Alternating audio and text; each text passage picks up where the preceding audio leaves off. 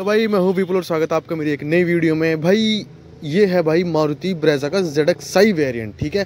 फ़िलहाल तो ये भाई जो है, अगर मैं इसके पेट्रोल की बात करूँ इसकी एक्स शोरूम पड़ती है ग्यारह लाख पाँच हज़ार रुपये भाई, ये गाड़ी मुझे फ्यूचर लोडेड लगती है, पैसों के हिसाब से बिल्कुल वर्थ और क्यों लगती है, मैं वो आज की वीडियो में आपको समझाने की कोशिश करूँगा। पहली बात तो देखो भाई, इसमें कीलेस एंट्री मिल जाती है, ये देख लो आप, ठीक है ना? इसमें दोनों साइड हमें सेंसर मिल जाते हैं। ठीक है, इस तरह की आप इसकी की देख सकते हैं। मतलब पूरी वैल्यू फॉर मनी और क्या कुछ इसमें फीचर है जो आपको ज़रूरत से भी ज़्यादा मिलेंगे तो वो आज की वीडियो में हम बात करेंगे। इंजन हमें इसमें वही मिलता है भाई वन लीटर का फोर सिलेंडर सबसे बड़ी बात, अगर हम पेट्रोल इंजन लें तो एक्स यू थ्री डबल और टाटा नेक्सन में हमें थ्री सिलेंडर मिलता है, लेकिन इसमें हमें फोर सिलेंडर बहुत ही रिफाइंड इंजन मिलता है भाई, बहुत ही स्मूथ ड्राइविंग के साथ। ठीक है भाई?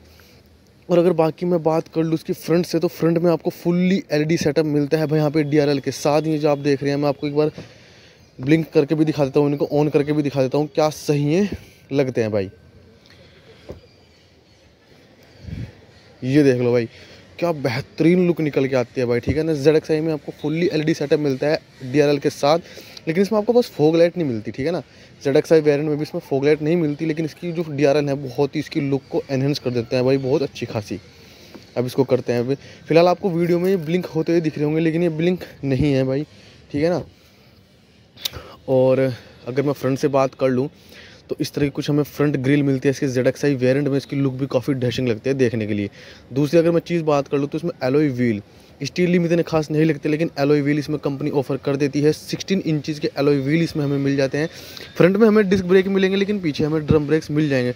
तो भाई एलोई व्हील से भी आपको भाई ज़रूरत पूरी गाड़ी की हो जाती है, पूरी गाड़ी की जो है लुक एनहेंस हो जाती है भाई, ठीक है? और ये देख सकते हैं आप, इधर भी हमें सेंसर यहाँ पे मिल जाता है और पैसेंजर साइड भी हमें सेंसर मिल जाता है भाई। तो ज़रूरत के भी ऊपर से भी सेंट्रल लुकिंग के साथ साथ आपको ये वाला फीचर भी देखने देखने को मिलता है। हालाँकि ये तो उसमें कि कॉम्पिटिटर में भी है बट कुछ चीज़ें हैं जो उसकी बहुत ही खास आपको बनाती हैं, ठीक है? आपको सेंसर हो गया इस साइड में ब्लैक ब्रीडिंग आपको मिलती है। इसमें हमें पीछे ड्रम ब्रेक्स मिलते हैं फ्रंट में वेंटिलेटेड डिस्क हमें मिल जाते हैं भाई, ठीक है?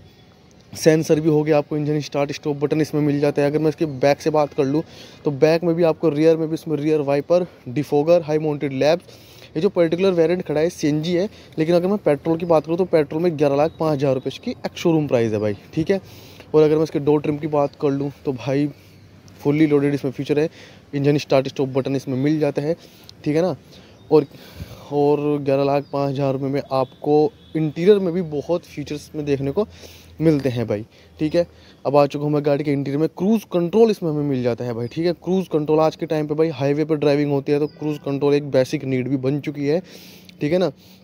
क्रूज़ कंट्रोल भी इसमें टाटा नेक्सोन में, अगर हम इसी प्राइस रेंज में बात करें तो उसमें क्रूज़ कंट्रोल नहीं मिलता।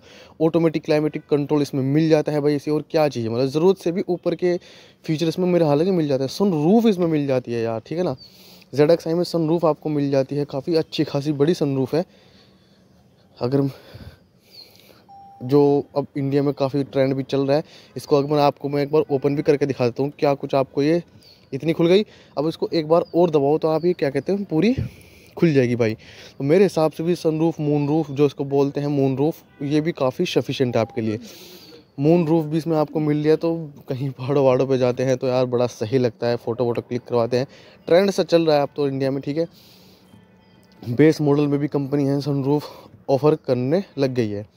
ये आपको हाथ से बंद करना पड़ेगा। तो यार मारुति तो पहले सनरूफ देती भी नहीं थी और आज के टाइम पे दे भी रही है।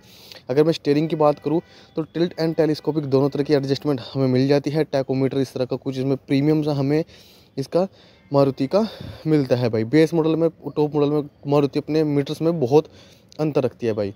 इस तरह के यहाँ पे कुछ information meter torque average fuel M to drive, ये सब फ्यूचर हमें देखने को मिल जाते हैं, ठीक है ना?